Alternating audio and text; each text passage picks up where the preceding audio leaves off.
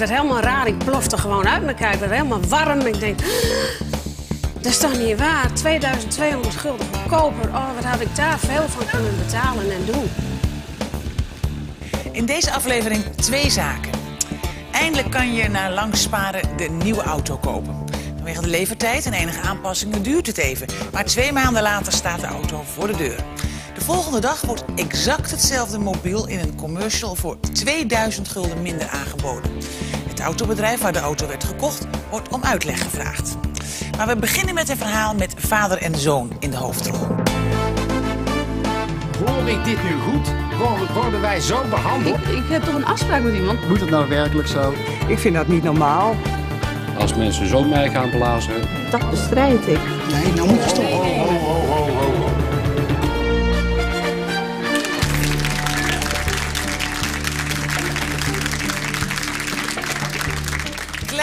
Familiedrama. De relatie tussen vader en zoon was op een dieptepunt. Oorzaak, de zoon vertrok met de auto van paps. Zes jaar geleden kwam mijn oudste zoon naar mij toe en vroeg of hij mijn auto mocht lenen. Het was erg slecht weer en ik heb daarin toegestemd. Daarvan heb ik echt een grote spijt, want hij heeft een groot ongeluk veroorzaakt. Geachte meneer Visser, ik wil u vragen of u het rechtvaardig vindt dat ik het schadebedrag van ruim 25.000 gulden door Marcel laat betalen. Hij zelf namelijk vindt dat we beide schuld hebben.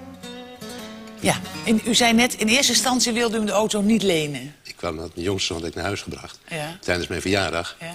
En toen werd ik geconfronteerd met de vraag van Marcel... Ja. Pa, mag ik uw auto even lenen? Maar het probleem was, ik, het was natuurlijk ook wel een sapje gedronken. En ik zeg, zal ik je niet liever even brengen? Nou, dat was niet nodig, had niet Nee. zoveel op. Vooruit er maar. Ja, Maar had u ook een sapje gedronken? Ik had ook een sapje gedronken. Dus misschien dat u daarom wel iets makkelijker was dan als u dat sapje niet gedronken had, of niet? Maar bij mij was het echt een sap. Ja. En geen alcohol. Oh, niet? Oh, Ja. ik dacht dat u met sapje alcohol bedoelde. Eh, wat Ja. Marcel betreft Ja, wel. wat Marcel betreft wel, ja. U hebt later natuurlijk gedacht, stom, stom, stom. Ja, dat is achteraf. Ja. Spijt komt meestal later. Heeft het hele voorval invloed gehad op uw relatie met uw zoon? Nou, eh, als het punt kwam natuurlijk op dat geld... dan Ja. was het wel een onderhavig punt. En daar hadden we wel twistgesprekken over. Hij vond dat u het moest betalen en u vond dat hij het moest betalen. Kwam het daarop neer? Precies. Maar u bent er altijd wel vriendschappelijk over blijven praten. Niet alleen vriendschappelijk, vaderlijk. Zoals de vader betoomt naar zijn zoon toe. Want ik Ja. ben natuurlijk niet graag kwijt. Want voor die 25.000 gulden had ik hem ook niet graag nog in de kist gehad. Hij had ook dood kunnen zijn. Waren er eh, gewonden bij? eh, Ja, ze waren gewonden geweest. Geen, geen, eh, doden. Geen doden. Heeft hij u het ooit verweten? Eh, hij zegt, u hebt mij de sleutels gegeven. Ja. Goed, we gaan er zo meteen nog verder op in. En wat zijn zoon Marcel hier tegen in te brengen heeft, dat hoort u nu. In 1994 heb ik op de verjaardag van mijn vader zijn auto geleend, zonder rijbewijs en ben daarmee gaan rijden. En ik heb daarmee een ongeluk gehad op die avond. Het is nu ruim een dikke zes jaar geleden gebeurd. Eh, ik was toen in het bezit al van mijn theoriecertificaat en ik had al eh, minimaal 20 rijlessen gevolgd. Ja, toch eh, is dat ongeluk gebeurd en kwam ik met een schadepost van 25.000 gulden te zitten doordat de auto van mijn vader totaal los was. Meester Visser, wie moet nu de schade betalen? Ik omdat ik de auto heb kort gereden of mijn vader omdat hij de auto heeft meegegeven aan mij terwijl hij wist dat ik geen rijbewijs had? En Marcel van Gemeren is ook hier natuurlijk naartoe gereden. Hallo. Hartelijk welkom. Ja. Het is al wel een hele eh, lange tijd geleden dat het gebeurd is allemaal. Zes jaar? Ja. Ja. Heeft het op u veel invloed gehad? Ja, natuurlijk. eh, ze hebben mij ook eh, later nog eh, aangereden. En eh, ik had eh, inwendige bloedingen. En natuurlijk, ik moest er ook nog, dus nog naar de rechtbank toe. Dus eh, rijden zonder rijbewijs. Ja. En eh, ze hadden ook nog eh, alcohol geconstateerd. ja. Dus ja, dat, dat zag er niet best uit. Het zag er niet best uit. Heeft het daarom zo lang geduurd dat u nu pas op een ja, wat zakelijke manier over kunt Ja, het, is, dat is, het, eh, het komt af en toe eens ter sprake. Ja. En ook vaak met derden erbij. En die, de een zegt dit en de ander zegt ja, maar dat. Ja. En eh, ja, toen hebben we toch maar besloten... eh, want laatst hadden we er ook weer een keer, nou ja, dat, een oneenigheid eh, over. Ja. Een ruzietje eigenlijk. En eh, Toen eh, is het besloten om naar de rijdende rechter te gaan. Ja. Is het, is het ook een manier voor u beiden om, om, om gewoon een soort streep onder deze hele kwestie Ja, te daar kunnen we zetten? er nooit meer over hebben. Want het, het woekert toch zes jaar voort, hoe dan ook. We vinden het heel fijn dat ons gelegen wordt gegeven dat er recht wordt gedaan. Goed. Wij gaan nu kijken dan naar de hoorzitting. Die vond plaats bij vader van Gemeren thuis in Gorkum. Dag, ik ben, eh, ik ben de rijdende rechter en ik ben hier gevraagd om te komen. Ik stel heel erg op prijs. Fijn dat u de moeite hebt genomen naar Asper te komen. Graag, Verder. altijd. Wilt u in de tuin of wilt u in de woonkamer? Wij gaan lekker naar de woonkamer. Met uw welnemen wilde ik niet echt op die aanrijding zelf ingaan. Want ik heb begrepen dat die heeft nogal heel wat ellende veroorzaakt. Voor u, maar ook voor slachtoffers. Daar wil ik het niet over hebben. Eh, het gaat om een andere kwestie, namelijk een schadekwestie, die eh, eigenlijk u in eerste instantie raakte. Want u was met de auto van pa. Dat klopt. Uw vader heeft niks verkeerd gedaan, toch? Of wel? Hij heeft mij die sleutel gegeven, terwijl, terwijl hij wist dat ik geen rijbewijs had. Eh, ik heb me ook voorgesteld van eh, Marcel, zal ik je even naar Gorkum brengen? Ik bood het dus aan. Dat heeft Ja. hij geweigerd. En hij kwam met het argument. Papa, je weet hoe ik rijd. En ehm, Wist u dat? Ik wist hoe hij rijdt. Ik weet hoe Marcel rijdt, hoe zijn gedrevenheid Toen. is. Maar ik wist dus ook dat hij geen geldig rijbewijs nog had. Hij was er wel mee bezig, maar hij had het dus nog Maar niet. hoe wist u dan hoe hij kon rijden? Had u wel eens bij hem in de auto gezeten? Ja, hij heeft bij mij regelmatig in de auto gezeten. En dan mocht hij een stukje rijden, een paar kilometer. Dus ik ben af en toe zijn Aha. rijinstructeur geweest. En dat Ah. mag. Eh, mag, mag, het mag niet, hè? Maar Nee, dat mag niet. Nee, maar zo is dat erin geslopen een beetje. Hè? Van, eh, van, eh, hij wist zo, nou, Marcel rijdt niet hard en die rijdt voorzichtig. En, eh, Maar u had geen rijbewijs. maar ik had geen rijbewijs. Nee, daar komt het op neer. Maar hoe haalt u dan uw hoofd om te gaan rijden zonder rijbewijs? Had u dat vaker gedaan? Ik heb wel eens vaak, vaker in zijn auto Dat gezeten. toen gedaan? Ja. Ja, alleen. Alleen, ja. En wist u dat? Dan kan ik dezelfde vraag ook aan u stellen. Hoe haalt u in, in uw hoofd om uw auto herhaaldelijk mee te geven aan uw zoon... terwijl hij nog geen rijbewijs heeft? Ja, die kleine boodschapjes en toestandjes, die eh, waren een vertrouwd beeld geworden. Maar ja, u had, u had kunnen weten, of u wist het... dat als er gelaatsmaak kwam, dat de verzekering niet zou uitkeren. En dan neemt, neemt u zelf dan ook niet een beetje verantwoording op u? Want dat, dat zegt uw zoon, hè? Ja. Dat- Pa, die had, me ook, eh, die had het niet mogen, mogen doen. Ja, dat is waar. Paarden die mogen doen. Ik had beter eh, misschien moeten zeggen van, eh, ik wil het niet hebben dat je gaat. Ik heb wel aangeboden om het te brengen. U had ook een glaasje gedronken. Ja, Maar het was op mijn verjaardag. Wist u dat hij gedronken had? Ik heb het hem gevraagd. Ik zei, Marcel, heb je gedronken? Zei hij ja. Toen vroeg ik, hoeveel? Zei hij, ah, een glaasje. En dat is dus ook, mag ik het zeggen, dat is ook valse informatie naar mij toe. Maar ik mag wel aannemen dat hij leeft niet op één glaasje, want hij lust wel een alcoholische versnapering. Dat wist toen ook. Vandaar mijn aanbod, ik breng je wel even naar Gorkum. Eh, Mocht dezelfde situatie herhaald hebben en ik kan eh, mijn zoon toch niet overtuigen van het feit van het is beter dat je niet rijdt, laat mij nou brengen. brengen. Maar u moet ook niet verwachten dat ik daarvoor op mijn knieën ga. Ik ga natuurlijk niet smeken, maar zo, alsjeblieft laat mij je brengen naar Gorkum, want jongen, dit kost ons huis. Nee. Maar ik denk wel dat ik een briefje laat tekenen. Als je mijn auto meeneemt, hier je sleutels, je dwingt ze een beetje af. Maar alle risico is voor jou. Bam, klaar. Maar dat laatste snap ik niet. Je dwingt ze af. Want hij- eh, u kunt toch gewoon uw sleutels in die zak stoppen en zeggen... bekijk het maar. Ja, precies. Het was een, gezellige verjaardag. Als Ja, jij je wil, wil, wil verpesten, dan ga je maar. Je gaat maar fietsen, precies. Pak de fiets maar. U heeft de zaak eh, goed aan mij uitgelegd. Ja. Maar ik wil nog eens even op eh, studeren. Ik zal u dat zo snel mogelijk in de studio komen vertellen. En ik verwacht u daar ook om de uitslag eh, te vernemen. Ja. Bedankt voor de gastvrijheid. Graag gedaan. Dag. Wie zal er opdraaien voor de gemaakte kosten? Ook nu weer heeft de rijdende rechter het laatste woord. Hier is meester Frank Visser.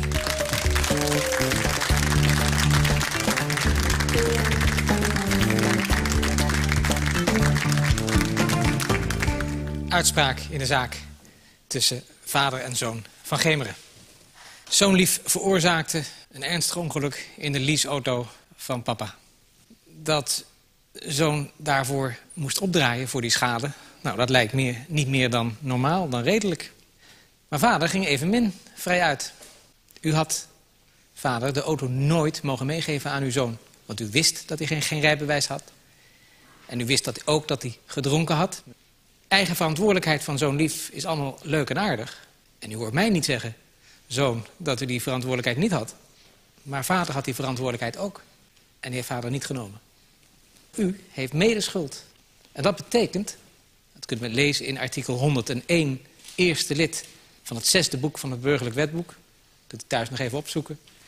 Daarin staat dat dan de rechter de schade moet verdelen. En dat is precies wat zo'n lief van mij verlangt. Ja. Ik vind dat het voorstel van Zoon om die schade in tweeën te delen... dat het een heel redelijk voorstel is. En dat zal ik volgen. En daarom wordt voor recht verklaard dat op vader van Gemeren rechtens de plicht rust... om de helft van de in deze procedure bedoelde schade aan de leaseauto te dragen. Dat is mijn uitspraak in deze zaak. Daar zult u iets mee moeten doen. U wilt in vrede met elkaar door. Tuurlijk. En eh, ik hoop en ik verwacht dat het ook het geval is. Ja. Dank u wel. Dank u wel.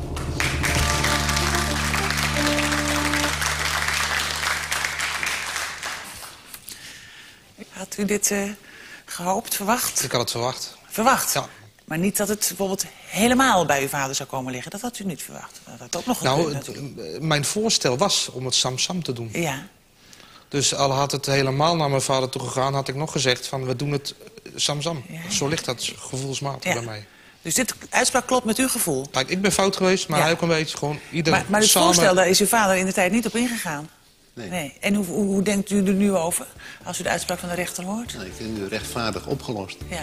Dus u bent er ook wel blij mee? Ik vind het een hele goede beslissing. Ja. Ja. En daar zullen we ons ook aan houden. Goed. Nou, hartelijk dank voor uw komst. En eh, allebei dan gefeliciteerd. En gelukkig samen Ja. verder als Ja, vader en ja, zoon. tuurlijk. Nou, zo, eh, zo gelukkig eh, eindigen wij hier zelden. Maar vandaag wel. Dank. Dankjewel. De heer Norder is dusdanig gehandicapt aan zijn been... dat de naar langsparen gekochte auto moest worden aangepast. Rekening houdend met deze aanpassing en de levertijd van nieuwe auto's... wordt de auto tijdig besteld. Bijna twee maanden later is het zover en staat het wagentje voor de deur. Maar dan tuft Ron Brandsteder voorbij. 19 augustus hebben wij een Suzuki Auto Automaat uitgezocht. En 7 oktober hebben wij de auto opgehaald en betaald. Kort daarna was er een reclamespot van Ron Brandsteder... met een korting op de auto van 2200 gulden.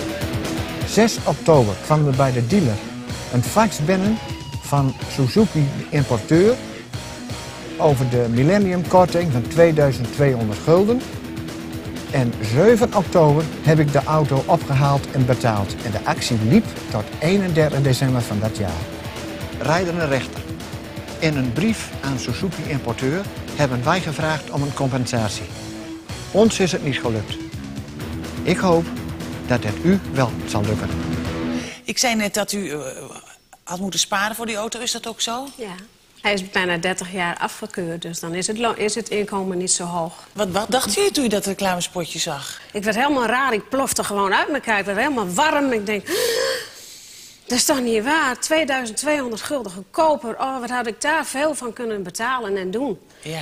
En toen riep ik van, kom eens hier, ga eens kijken. Ik zei, volgens mij ben ik helemaal niet goed bij mijn hoofd. Ik zeg, ga naast me zitten en dan kun je het zelf eens zien straks om acht uur. Ja. Ja, hoor, Lange Ron Brandstede komt eruit met een... En een Suzuki met een of ander... Ik weet niet meer. Sleutelbosje Portemonneetje sleutelbosje. Ik Ja. heb het helemaal niet meer gezien. Ik was helemaal... Helemaal kwaad. Die Ron Brandstede kunt u niet meer zien natuurlijk. Nee, ik zei, hij is al zo rijk, hij heeft al zoveel geld... en wij hebben het niet zo, ik klaag niet hoor... maar Nee. we hebben het niet zo breed als hij. En zulke mensen krijgen kapitalen en wij krijgen dat als dank. En toen bent u natuurlijk woedend. Ik was die- kwaad. Ja. Ik was echt kwaad, ja. En toen zei ik tegen hem, ga er toch wat aan doen. Nou, daar ben ik de kwaaie geest thuis, hoor. Ik zeg, ga er toch wat aan doen. Mij- Ik kan toch niet? Ja, u dacht niet, ik ga er zelf wel wat aan Ja, doen. ik wou wel graag mee, maar ik wil niet altijd voorop lopen. Dus ik denk, nee, dat moet hij maar doen.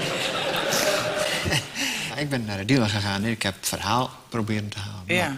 Hij vond het verschrikkelijk, Ik vond het vreselijk. Maar eh, ik kan er ook niks aan doen, zei. Want die, die, die, die man is verder... Ja, Ja, Geen partij vinden. goed. Nou, wij gaan het eh, vragen. U, de familie Norder voelt zich duidelijk eh, belazerd. Maar geen eis zonder weerwoord. En in dit geval van de heer Anton van der Locht. En hier is zijn verhaal. Op 17 augustus heeft de familie Noorder een Suzuki Alto automaat gekocht.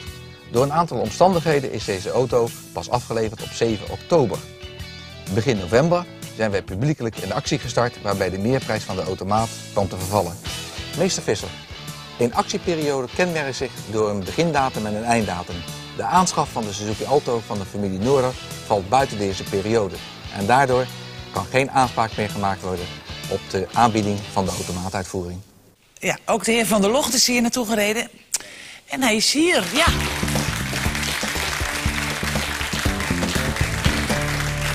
U, u hebt net eh, gezegd, hè, van nou, eh, dat is eh, de, de, de periode... en ja, als je er buiten valt, dan heb je pech gehad.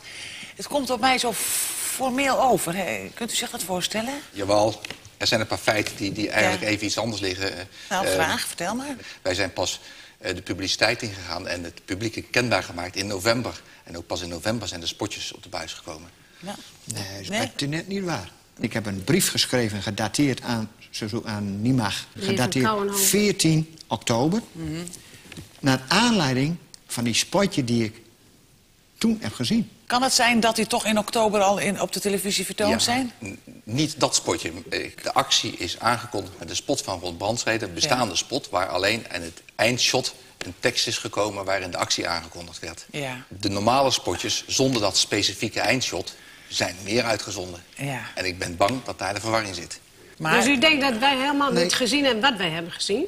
Meneer, ik heb het wel tien keer gezien. En mijn zwager die wilde dezelfde auto kopen Ja. wat op de reclame was. Maar die auto was niet verkrijgbaar. Dus ik snap die heel verhaal van u niet. En dat spotje, dat was er. Ik heb getuigen genoeg. Ik vind dit abnormaal dat wij allemaal in Oude Pekela... wat zien wat u nog nooit uitgezonden kan hebben. Dat bestaat toch niet, meneer Van der Locht? Ja. Daar geloof ik ook niet in, hoor. Gebeurt dit soort dingen vaker?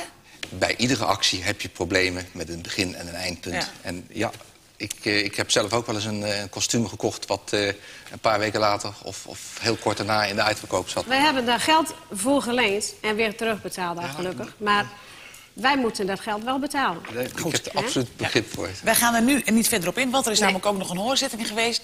En meester Frank Visser liet zich rijden, zei het in een bolide van de concurrent... naar de plaats waar het probleem ontstond. Welkom. Een hele rit geweest. Wat is er nou voor bijzonders aan deze auto? Want De auto die is... Het is een eh, automaat. automaat. ja, Eh, de gaspedaal zit links van een rempedaal. Ik mag dus niet met mijn rechterbeen wat doen. Dus die schakel ik uit. Oh, dus ik doe, ik doe met mijn linkerbeen wat u normaal met de rechterbeen doet. gas geven En remmen. en remmen. En dat kan. En dat kan, moet je die been zo. Ik ben blij dat ik hem even heb eh, gezien. Dat ik hem voorst- een voorstelling kan maken hoe het nou eigenlijk werkt. zal Ja. hem U zet hem even... maar Ja, maar mag hem niet zo laten staan. denk ik. Laat ik hem niet zo laten staan? Ik ben bang eh, van Dan niet. zet ik mijn invalidekaart ervoor. Oh, dat is een goeie. Ja. Dat straks, hè? Na dit bezoek volgt de hoorzitting in cultureel centrum Het Zand in Maarsen. Aan de orde is het geschil aanhangig gemaakt door de familie Norder tegen BV Nimag, beter bekend als de importeur van Suzuki. Dat zullen mensen meer eh, zeggen. Augustus 1999 heeft u een nieuwe Suzuki gekocht. Klopt. En u heeft een, een, een beenhandicap. Dus u, u- bij u heb ik net begrepen, toen we de auto aan het bekijken waren, moet het gaspedaal en de rempedaal worden omgewisseld. Ja. Want de auto is uiteindelijk afgeleverd op, uit mijn hoofd, 7 oktober. Zeker. Nou, u krijgt de auto die u besteld heeft. Wacht dat op? Hartstikke fijn. Ja. Ja. Tot maandag 11 oktober. Ja. Mijn vrouw mij riep. Ik zag op de reclamespot Lange Ron Brandsteder uit het kleine autootje komen. Ik denk, wat is dat? Onze auto. Hé, hey, wat leuk. Ik loop naar de keuken, ik ga koffie zetten. Hoorde ik, want we hebben de keukendeur open, hoorde ik het bedrag van 2200 gulden goedkoper. Alleen voor de auto-automaat. Even naar die dingen kijken. Dat moet ik, dat moet ik kunnen. Ik werk tenslotte bij de televisie. Ik vraag laatst aan de directie van Suzuki. Die auto's van jullie, zijn die wel millenniumproof? Maak dus geen zorgen, meneer Brandsteder. Ik zei ja, jullie kunnen wel zoveel vertellen. Maar neem even de proef op de som hier. De grote Suzuki Millennium Test. Kijk, kijk, kijk. Ta-ta. Zeker tot het jaar 100.000. Geen enkel probleem. Nu Millennium knalaanbiedingen, dat was hem, hè? Er is inderdaad een spotje in, eh, in eh, de Millennium actie, waarbij Ja. inderdaad eh, de automaat eh, gratis was. Alleen eh, dat uitzendschema van die reclamespots, daar zijn we pas mee begonnen uit te zenden in week 44. Dat is eh, begin november. Kijk, wij hebben een spotje gezien. Of wij zijn gek of u bent gek, dat weet ik niet. Maar dit Nee, nou, die... Nee, dan zijn wij toch gek als wij wat zien wat er niet is. Ja, maar je kunt je vergissen. Dat moet Nee, wel- dat bestaat niet. Geen week lang nee, meer. nee, even, Weken Nee, een week lang vergissen wij ons niet hoor. We blijven dus van mening verschillen over Ja. de vraag wanneer nu precies die eerste reclamespotjes eh, kwamen. Maar één ding is zeker, ze kwamen pas nadat u de auto had voor Ja. de deur had staan. Mensen zijn niet eh, blij met de re- reclameactie, zoveel is duidelijk. Ik zie u terug eh, over niet al te lange tijd voor het vernemen van de uitspraak. En tot die tijd moet u geduld oefenen. Dank u wel voor uw komst. Denkt u te weten wie gelijk heeft? Nou, Ik niet. Maar goed, u hoort het nu. Hier is meester Frank Visser met het laatste woord.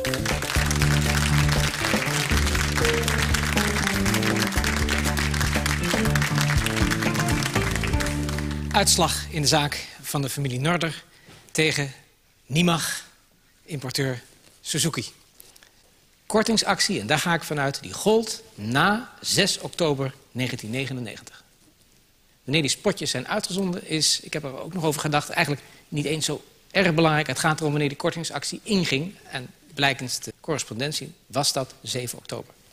En u gaat ervan uit, familie Norder, dat u die auto pas daarna gekocht heeft. Want u zegt, toen hebben we hem opgehaald en betaald. Maar juridisch klopt dat niet. U kocht de auto toen u ervoor tekende, toen u hem bestelde. Op dat ogenblik komt de koopovereenkomst tot stand. Dus voordat de kortingsactie inging. Dat betekent dat juridisch, ik zeg het maar gewoon, u eigenlijk geen poot heeft om op te staan. Uw eis zou het dus moeten afwijzen. Maar ik wil daar nog wel wat aan toevoegen. Juridisch klopt het. Maar het wringt ergens. En je kunt je inmiddels afvragen of dit soort kortingsacties, met name als er veel geld mee gemoeid is... of, of de consument wat dat betreft niet een betere bescherming behoeft. Dat verwijt ik Suzuki niet, want Suzuki kan natuurlijk niet in, in, zijn, eentje... wat dat betreft een nieuwe, nieuwe wet maken. Ik denk dat dat toch een opdracht wellicht kan zijn aan de wetgever... al dan niet in Europees verband, om daar toch eens naar te kijken. Kijk, ik als rechter mag dat niet doen. Dat gaat zoals het heet de rechtsvormende taak van de rechter te buiten. En het kan ook niet zo eh, zijn dat ik zeg... goh, het is nou zielig voor de familie en daarom winnen ze, want zo werkt het niet. degene die bij de recht, reddende rechter wint, wint omdat hij gelijk heeft. Kortom, dat was nog even een toevoeging. Daar kunt u dus mee doen wat u wilt. Dank u wel.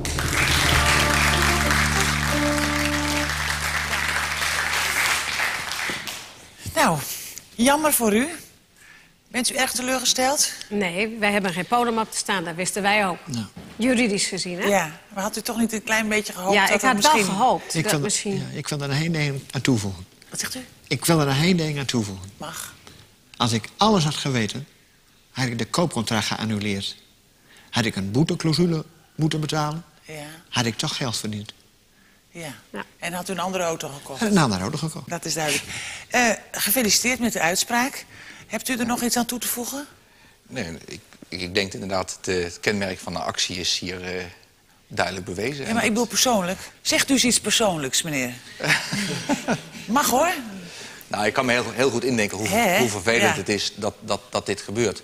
Wat de rechter zei, dat er misschien toch iets aan uw wetgeving zou moeten veranderen. Kunt u daar ook eh, mee instemmen? Ja hoor, ik vind, ik vind het goed dat de consument zoveel mogelijk beschermd wordt. Goed.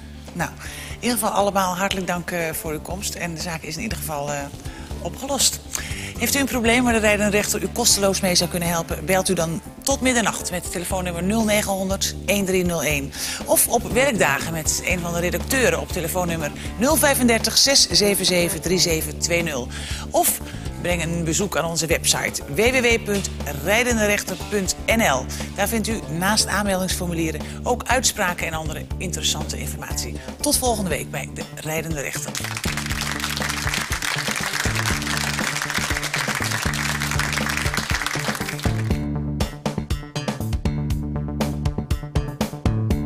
Stond er met twee kinderen. Eentje was de bosjes ingevlogen. Mijn zoon die had behoorlijk veel pijn. Ik was met fietsen al over hem heen gevallen. Dat is niet leuk. Ja, en ik heb vrij strak gereageerd toen.